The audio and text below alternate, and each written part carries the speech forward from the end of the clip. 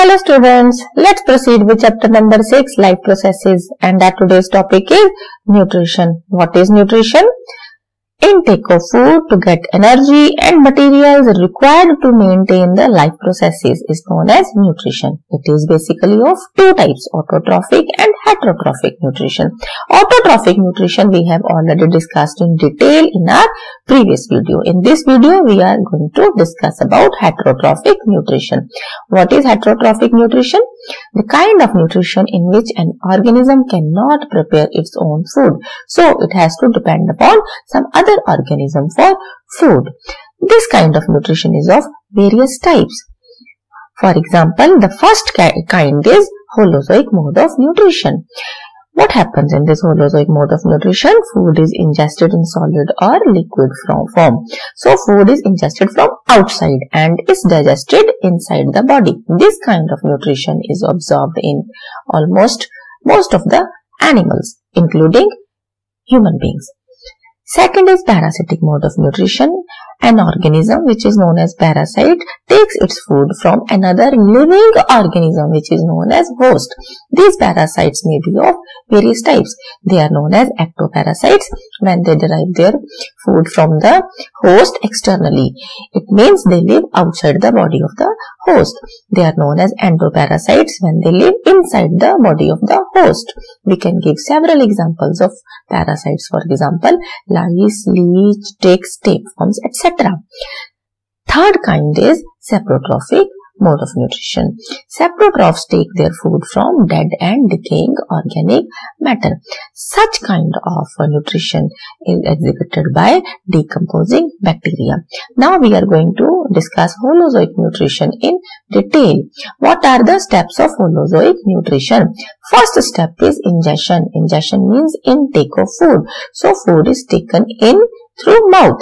Second step is digestion. Complex molecules of food are broken down into the simpler ones.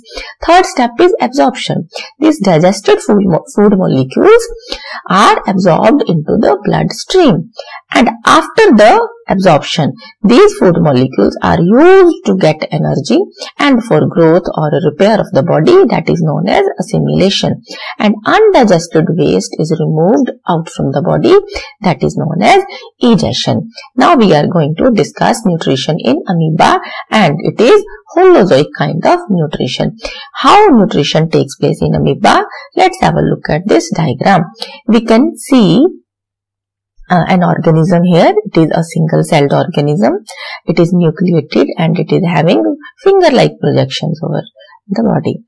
These finger-like projections are known as pseudopodia. So, pseudo means false, podia means foot. So, these finger-like projections are known as pseudopodia.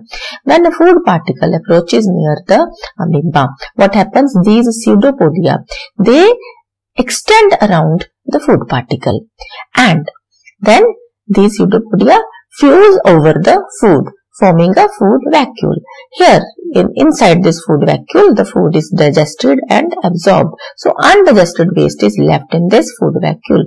Now, this food vacuole approaches near the cell membrane and fuses with the cell membrane. This way, the undigested waste is digested out. So this is how nutrition occurs in amoeba. Let's have a look at nutrition in paramecium also. This is the an organism, single-celled organism which is known as paramecium. You can see small hair-like uh, uh, growths over the entire body of this organism. These hair-like outgrowths are known as cilia. What happens? All these cilia, they beat and uh, cause movements so as to propel the food molecules or the food particles towards the oral groove of the paramecium. When food particles they enter the oral groove and reach at the base of the oral groove here at the bottom, these food particles are engulfed in and uh, a kind of food vacuole is formed. Here in this food vacuole, the food is digested and absorbed. This food vacuole circulates in a fixed route inside the cytoplasm of the paramecium. And the food is absorbed after digestion. And undigested waste is left in this food vacuole which approaches near the cell membrane. And the undigested waste is removed out from the cell. You can see a small pore here which is known as anal pore through which the undigested waste is removed from its body. So this is how nutrition occurs in paramecium. Let's have a look at the nutrition in fungi. What happens? Fungal members release digestive enzymes and food is digested outside their body and after digestion the food particles are absorbed inside. So this is how nutrition occurs inside the fungal members. Now let's start with nutrition in human beings or nutrition in man. Three main points are uh, to be taken care of. One, one point is heterotrophic. It means man cannot make its own food and it has to depend upon other organisms for food. So we directly or indirectly depend on plants for our food. And the kind of nutrition is holozoic. Second point is complete alimentary canal. What is the meaning of this? The kind of alimentary canal which has two openings, one for the ingestion of the food which is known as mouth and the other for egestion of undigested waste is known as anus. So such an alimentary canal which has two openings is known as complete alimentary canal. Third point is peristalsis. The alternative and rhythmic contraction and relaxation of longitudinal and circular muscles of the gut lining creates peristaltic movements. So this peristalsis or peristaltic movements help to push the food in the forward direction. So these are some of the points of nutrition in human beings. Now let's have a look at the digestive system of man. This is the digestive system of man and we can see that the alimentary canal of human beings is like a tube. So this tube has two openings, one for ingestion of the food or intake of the food. This opening is known as mouth. The other opening is known as anus. It is the opening through which the undigested waste is removed from the body. So, a complete alimentary canal is there in case of human beings. Now, let's have a look at the other parts of the digestive system of man and what are the names of the parts. Here, when the food is taken in through mouth, it goes into a cavity which is known as buccal cavity. What is there inside the buccal cavity? Teeth are there, tongue is there, and you can see small glands here. Two glands are there on the lower side. These glands are known as sublingual and submaxillary glands and one gland is there on the upper side that is known as parotid gland.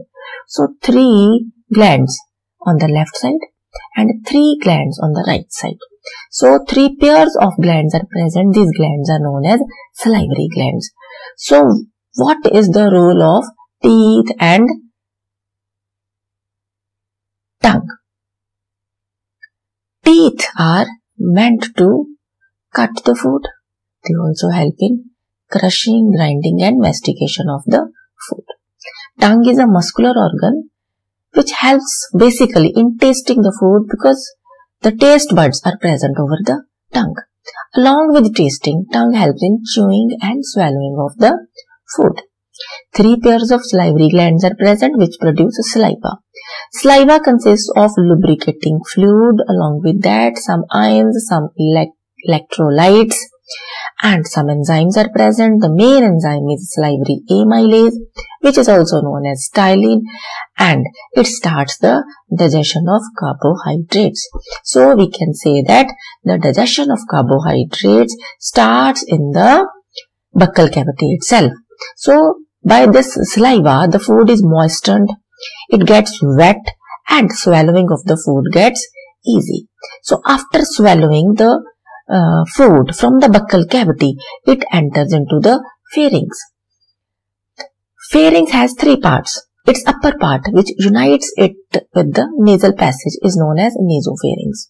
And the lower part, which unites uh, uh, it with that of larynx is known as laryngopharynx. But here we are talking about the oropharynx. So food from buccal cavity to pharynx goes to esophagus. This is esophagus. So esophagus transfers the food to the stomach. This is stomach. So stomach is a highly muscular organ and its lining is known as gastric lining. The kind of digestive juice which is produced from the stomach is known as gastric juice. So gastric lining produces gastric juice. And what is the composition of gastric juice? Three, four things are produced. Mucus, hydrochloric acid, pepsinogen and gastric lipase. What is HCl? It is hydrochloric acid. You might have heard about acidity in some of the uh, individuals. So acidity is because of the overproduction of hydrochloric acid and because of the presence of acid, the pH of stomach can go even up to 2 to 3. So what is the role of HCl? It kills the microbes or the pathogens present in the food and it activates the pepsinogen which is an inactive form of enzyme and converts pepsinogen into the active form pepsin which then helps in the digestion of proteins. Gastric lipase helps in the digestion of fats. Mucus protects the cells of the gastric lining from the action of HCl. So this is how gastric juice helps in digestion. Then this is liver. This is the largest gland of our body. It produces a juice which is known as bile juice. Bile juice is stored here in the gallbladder and from gallbladder this uh, bile juice is poured into the duodenum when food enters into it. What is the composition of bile juice? It is alkaline. So it helps in maintaining alkaline pH in the duodenum or in the small intestine which is required for the proper functioning of digestive enzymes. But bile juice has no enzyme in it. It is devoid of any enzymes. Then it consists of two pigments bilirubin and biliverdin which give yellowish brown color to the feces. Then some salts are also present like salts of sodium taurocholate, sodium glycocholate and bicarbonates. You can simply uh, uh, call them as bile salts. Then emulsification of fats is done with the help of bile juice. What is emulsification of fats? Big fat globules are broken down into the smaller ones to increase the surface area. More the surface area, more rapid will be the enzyme action. It means the rate of action of enzymes increases with increasing the surface area. So this process emulsification helps in the digestion of fats so that more and more enzymes can act on these small fat globules.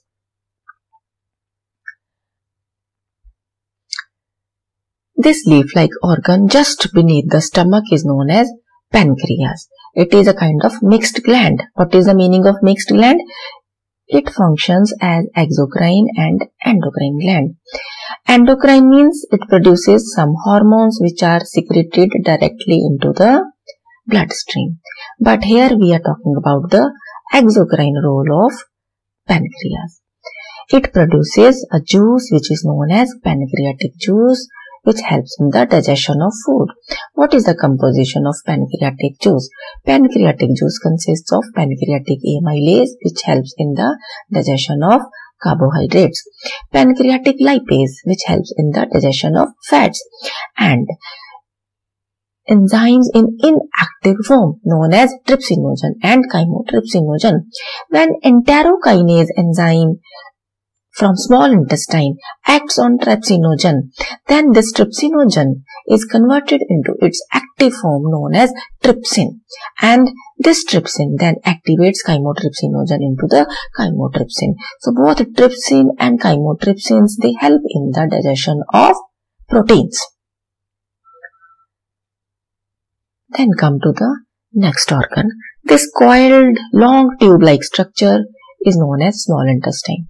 It has three parts. The initial part which is C-shaped that is known as duodenum, then comes jejunum and then comes ileum. This is highly coiled part of the alimentary canal. It has two functions to perform. One is digestion and the other is absorption of the food. Right now, let's concentrate on the digestive role of small intestine. It produces intestinal juice which is also known as succus entericus. What is the composition of intestinal juice? Intestinal amylase is there. It helps in the digestion of carbohydrates. Lipases are there which help in the digestion of fats and enterokinases are there which activate trypsinogen into trypsin. Then comes large intestine. This part is known as large intestine. It is also known as colon. So the part of colon or large intestine which is going upward is known as ascending limb of colon. This is known as transverse limb of colon and this is known as descending limb of colon. It leads to rectum.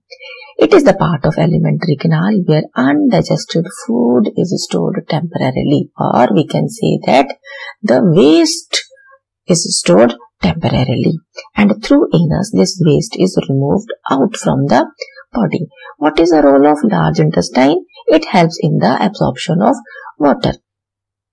So this is all about the digestive system. So food is digested inside this digestive system. What happens to the food after digestion? Digestion of the food completed like this. Carbohydrate molecules break down into the monosaccharide units are sugar monomers. Protein molecules are broken down into amino acids and fats molecules are broken down into fatty acids and glycerols. So after digestion, all these substances are absorbed into the bloodstream. Where absorption of food occurs? It occurs in small intestine. And the structure of the small intestine is specialized to do the absorption of food at a rapid rate. This is the structure of small intestine. We can see the layers of glands here. The outer part of this small intestine consists of longitudinal muscles and inner layer consists of circular muscles and alternative movements of longitudinal and circular muscles create peristaltic movements which help to push the food in the forward direction. Now come to the inner parts. We can see that the inner wall of the small intestine is having these finger-like projections to increase the surface area. These finger-like projections are known as villi. So villi increase the surface area and thus help in increasing the rate of absorption of digested food. The, this is known as lumen. Here the digested food is present. From the lumen, the food is absorbed. So inside the villi, the blood vessels are present. So it is a highly vascular part of the small intestine. So lymph as well as blood is there in the inner lining. So digested food is there in the lumen. So this digested food is absorbed into the small intestine. So this is how villi help in the absorption of food at a rapid rate. So this is about absorption. Then what happens after uh, the digested food is absorbed? Once again, let's have a look at the digestive system. So here in the small intestine, digested food has been absorbed. And now the food has come into large intestine. Water will be absorbed from uh, the food here in the large intestine. Now the undigested waste will be left. That undigested waste will be stored temporarily here in the rectum. And when anal sphincters open up, then through anus, this undigested waste is removed out from the body. So this is how nutrition occurs in human beings. That's all for today. Thank you so much.